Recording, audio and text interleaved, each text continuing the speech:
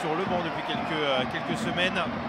Et Macon Echo qui rentre dans la surface de réparation. La vitesse de Macon Echo avec ce petit ballon qui euh, va passer à côté de la cage de Martin Sourzac. Euh, nouvelle situation cette fois-ci avec le jeune joueur formé au Mans Macon Echo.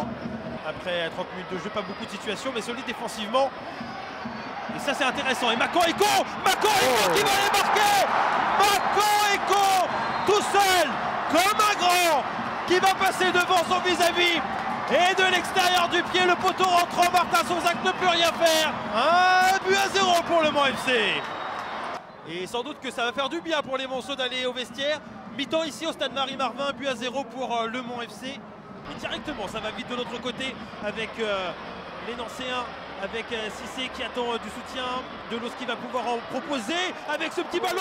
Et l'égalisation L'égalisation pour la S Nancy-Lorraine Chacune de l'os, hein. Après moins de deux minutes de jeu.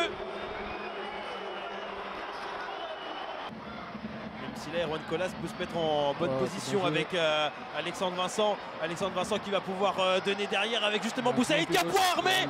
Oh, magnifique. Il s'est bien couché, il n'a pas relâché euh, le ballon. Bel arrêt de la part de Martin Sourzac. Ah, il me semble un peu. Benjamin Gomel.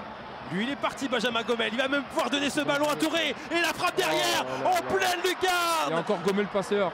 Gomel le passeur, sixième passe décisive qui va donner ce ballon à chaque Touré. Deuxième but pour lui depuis le début de la saison. Et ça fait 2 buts à 1 pour la Nancy Lorraine. Un contre magnifique, contre d'école. Allez, Boussaïd pour essayer euh, de faire la différence, de revenir au score parce que maintenant ce sont les Manceaux qui sont menés. Oh, Avec pourquoi ah, pas là c'est cette tentative de la part justement de Mehdi Boussaïd. Ça passe euh, à côté de la cage de Martin Sourzac.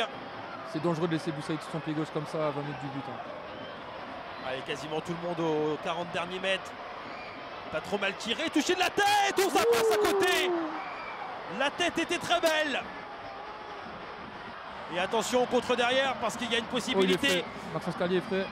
Maxence jeu. sur le côté droit, pas de position de hors-jeu. Il y a du monde également de euh, l'autre côté avec Taillot.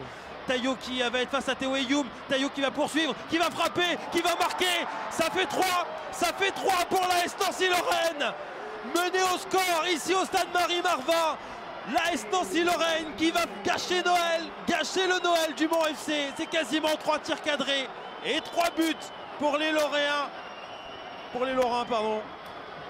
Magnifique.